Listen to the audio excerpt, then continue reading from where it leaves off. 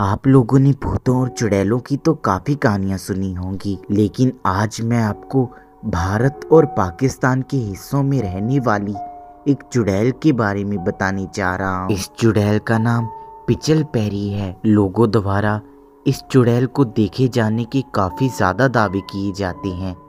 तो चलिए जानते हैं आज इस चुड़ैल के बारे में। तो चलिए शुरू करते हैं आज का वीडियो।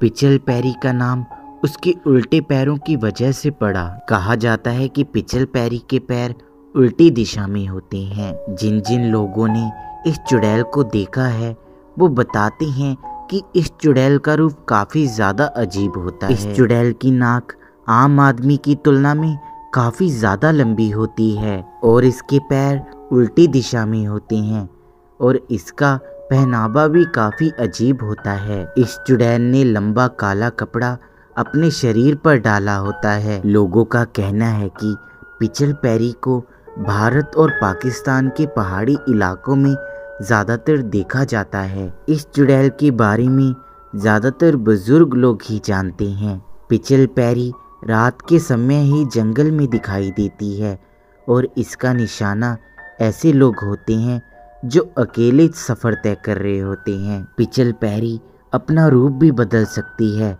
बताया जाता है कि जवान लोगों को शिकार बनाने से पहले ये चुड़ैल अपना रूप बदलकर एक खूबसूरत महिला बन जाती है। अपना रूप बदलकर ये चुड़ैल लोगों को अपनी ओर आकर्षित कर लेती है। इस चुड़ैल के ज़्यादातर शिकार कमज़ोर पुरुष होते हैं। कहा जाता है कि पुरुषों को मारकर ये चुड़ैल उनकी आत्माओं को अपनी तंत्र क्रियाओं में इस्तेमाल करती है। पहाड़ी इलाकों में रहने वाले कुछ लोग इस बात का दावा करते हैं कि उन्होंने एक खूबसूरत महिला को एक डरावनी चुड़ैल में बदलती हुई देखा है। जिन लोगों ने इस चुड़ैल को देखा है, वो दावा करते हैं कि इस चुड़ैल के बाल काफ़ी गंदे होते हैं और इसके कपड़े खून से सने होते हैं।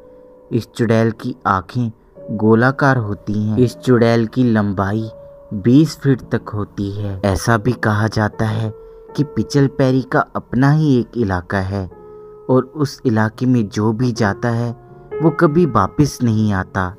तो दोस्तों, ये थी पिचल पैरी के बारे में कुछ बातें। आपको इस चुड़ैल के बारे में क्या लगता है? क्या ये एक असली चुड़ैल है या कोई मनगढ़ंत कहानी?